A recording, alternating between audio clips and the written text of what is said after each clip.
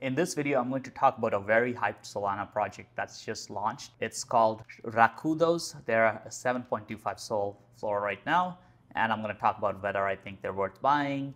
I definitely think they were worth buying before on the mint, but obviously um, that was very oversubscribed, so unfortunately I didn't get any on it. But this is a pretty interesting project. So essentially, the team behind this collection is Shakudo, and Shakudo it's the only data and compute platform you'll ever need. So they basically provide data, uh, analytics, computing solutions. So the way they describe what they do is essentially infrastructure for Web3 and data teams. And they're also building a decentralized AWS. So Amazon Web Services, which is one of the biggest, most profitable businesses in the world. It's one of the reasons why Amazon's so big is because they have this whole Amazon Web Services kind of platform, right? So they, what they're building is a decentralized serverless AWS designed for Web3 and data teams, right? So a simpler to use version of AWS because AWS, if you're a smaller business, it can be quite complicated and expensive to hire experts who will run it. And they're essentially doing that. What they have is a pretty incredible team here. They have around 15 people who are all gigabrains. Um, if you actually look on their about page, you can learn more about their teams. So Yevgeniy is their found, co-founder and the CEO. He's got an incredible background. So he's at BMO Financial Group. He actually founded their BMO AI Labs department. He's been working in AI and data. He's worked as a senior software engineer at Amazon. So he's an incredibly experienced engineer. And then the rest of their team is very impressive as well, right? Kristen Yuen is their co-founder and head of platform. So she's also got a very strong background in AI and machine learning at Deloitte BMO. And uh, both of these have incredible educational backgrounds as well. Yevgeniy has a PhD in, I believe, uh, computer science at, from University of Toronto. Christian's got incredible experience. And then what's funny is even their community leads are super experienced, right? So Kayla is a quantitative software developer. So every single person in their team is like an incredibly experienced person. Um, in the software space and they understand their product really well. Same thing for Sabrina, right? She's uh, she's a software developer and now she's doing their social media and community management. What is Shakudo, right?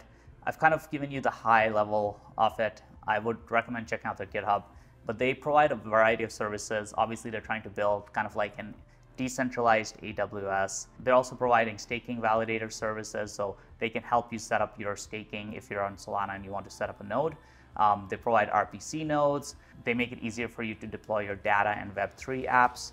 And overall, they just are a utility play, right? Now, on top of the, the fact that they have an incredible team, they've also raised over $4 million in seed funding from very, very um, well-known VCs. Some of their VCs include Draft Ventures, Basecamp Fund, which is a pretty well-known fund, Golden Ventures as well, and a few others. They raised over $4 million to essentially build AI and data services. And they're really, I think they're pivoting over to Web3 because they see a pretty big opportunity to help a lot of these Web3 teams, especially with data, right? Like on in Web3, getting a lot of that blockchain data and really being able to use it is quite difficult. So I think that's what one of their big plays is. Now they've set up validators for various Sol projects as well, like DeGods, Monkey DAO, and DegenDAO, right? They also have a bunch of customers that they work with, including Quantum Metric, um, risk thinking AI and powered. So they're actually revenue generating, generating significant amounts of revenue. So this brings us to the NFT collection. Why are they launching an NFT? The NFT is called Rakkudos. Rakkudos, obviously, as you can see here, they have a very kind of like Okbear style art. And the NFT collection is quite simple. It's an NFT collection for their brand. They're using their NFTs to build a strong community on Solana and also onboard new clients. So they have some pretty interesting utility. The first form of utility is you can stake these Rakkudos for pre-kudos, which is um, essentially service credits that can be used in for their data tools, right? So pre-kudos will be a Solana SPL token and it will be to Rakkudos NFT holders and then essentially it's basically one pre-kudos can be redeemed for one USDC of service on their uh, various kind of services, right? So pre-kudos is kind of like a peg token where it's like pegged to $1 worth of service credit. But then the other use of pre-kudos is it can be used uh, to be when Kudos, their utility token launches, it can be used as a way to um, basically get Kudos, right? So you trade in your pre Kudos for Kudos. Now, Kudos is not going to be a peg token, so that's where the potential upside is. The actual emissions are pretty low for pre Kudos, so depending on the NFT you have, I believe it's anywhere from uh, pretty low 14 pre kudos a year if you don't have a rare one, and if you have a rare one, you get 60 a year. So it's not in USDC terms, it's not really that great. Obviously, with a seven SOL floor price, it's basically um, not amazing, but it's you at least you get some value out of it. However, like I said, the big potential is when they do launch Kudos, and that's not a peg token if that you know 10x's 20x's having a lot of these pre-kudos that you can trade in for kudos could be useful but again it's very unclear how this um, this will work and they're obviously trying to figure out the regulatory and legal requirements and um, the max supply and the tokenomics so essentially with this with this pre-kudos kind of uh, utility play it's definitely useful but then the really interesting utility of this NFT project is something called the referral program, the Rakkudos uh, RR, Rakkudos referral program. So essentially, with the tools that they're providing and the core platforms they're building, um, that allows you know Web3 and data teams to develop, scale, deploy, and maintain their work, they are charging um, usually $10,000 a month for under 10 users and then $1,000 extra per month per additional users. So for each qualified sales, Shakudo will pay 60% of the first year platform to the Rakkudos treasury for a maximum of 20,000 USD per referral, right?